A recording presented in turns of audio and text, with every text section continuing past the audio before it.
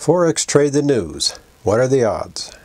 Here's one of the videos used in the Forex ebook series, Forex Trade the News. What are the odds? Published in the Kindle Books department on Amazon. This ebook is the sixth in the series and documents three setups and trades conducted over the last two years along with charts and links to the YouTube videos.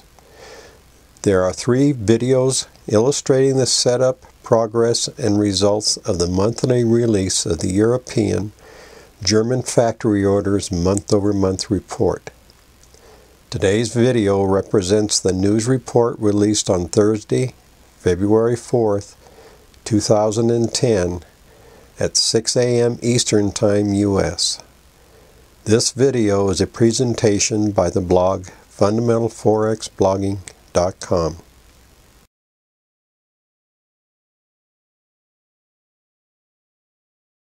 Here's my prelim setup for a trade, starting with my market orders, a sell order and behind it a buy order.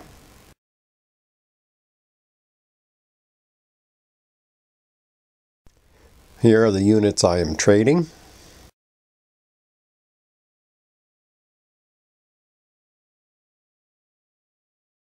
Here is my stop loss.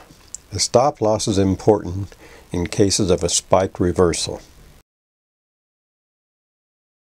Early on, my broker spread shown here is small, but may increase just before the news release, which will be shown later in this video. Next is my plan in case there is a surprise to the market. The plan tells me which action to take if the actual report is different from the forecast. Down here is my time,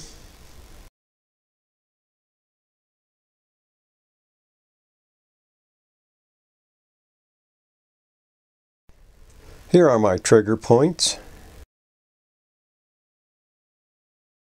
I need to get the news report as soon as possible, so I use the Forex Factory's calendar. They have an actual pending button, which will give me the news report within a minute or two. By refreshing the calendar page, normally about four minutes before the report release, the green buttons will appear.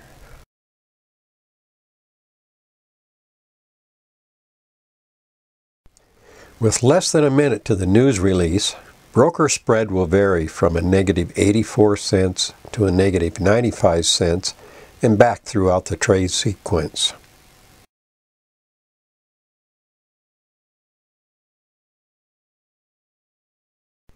It is now time to get the news release. I use the Forex Factory calendar with the news release buttons, those green buttons in the calendar. At times it takes a few clicks of the actual report buttons to get the report. This time it took only 13 seconds and one click to get the actual report release. In this case the actual report came out lower than the forecast by 2.1 and lower than the trigger point by 1.2. This report was bad for the euro so I decided I will execute a sell of the euro and buy the US dollar. There, I have entered my first trade.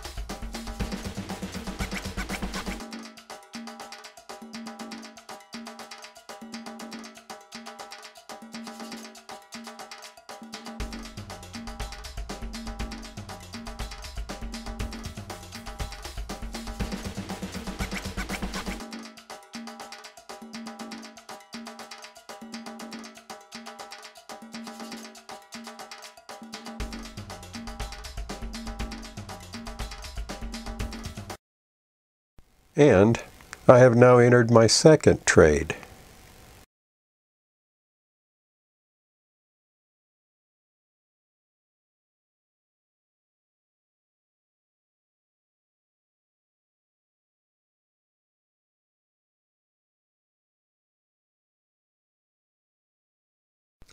The market is moving just as I hoped it would. There is some retrace which is expected. I did not exit my first trade until after the end of this video in the 28th minute for a good win. One of my fears is that the market will not continue to move in the direction the odds say it will. This time the market moved in my favor, for a while anyway. I did not exit my second trade until after the end of this video in the 37th minute. So here's a chart showing the trade exit and how the market continued to move.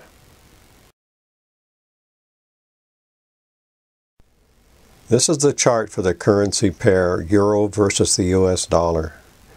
My first sell trade of the Euro was entered right at about 24 seconds into the news release. Then the second sell trade was entered about a minute and 38 seconds into the news release. The first exit trade happened in the 28th minute, and the second exit trade happened in the 37th minute. The first trade was a good win. The second trade may have been a wash.